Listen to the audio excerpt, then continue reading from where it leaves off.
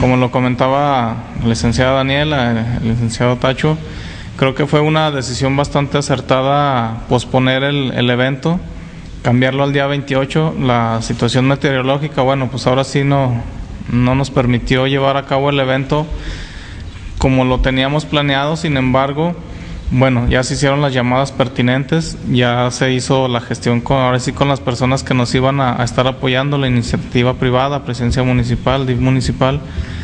Se llegó al acuerdo de, de posponerlo al día 28 y no arriesgarnos a que sea este día 21 y sea, bueno, que a raíz de las lluvias pues podamos tener menos ingresos. Ahorita lo comentaban eh, este, acertadamente.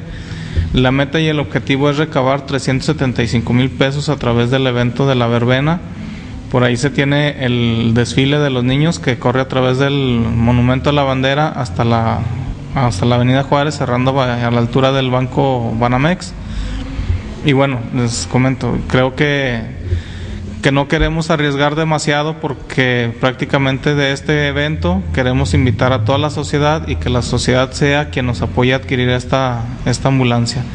Entonces sí hay situaciones técnicas que también estamos valorando o que ya se valoraron, sobre todo, bueno, pues para no arriesgar a tener un, sobre todo un accidente, que decir, bueno, pues me arriesgo a tener el evento, como comentaba el licenciado Tacho, se maneja la electricidad extensiones, vamos, sí puede haber un, un pequeño riesgo al trabajar este, es- la instalación eléctrica bajo estas condiciones.